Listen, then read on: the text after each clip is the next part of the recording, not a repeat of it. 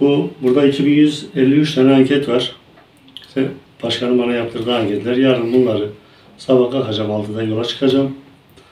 12'de genel başkanın önüne koyacağım. Anladın?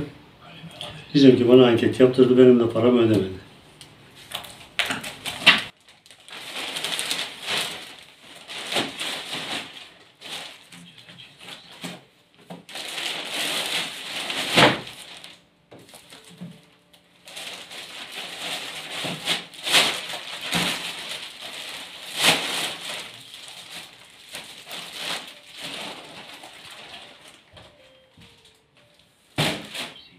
Tamam kapat kamerayı.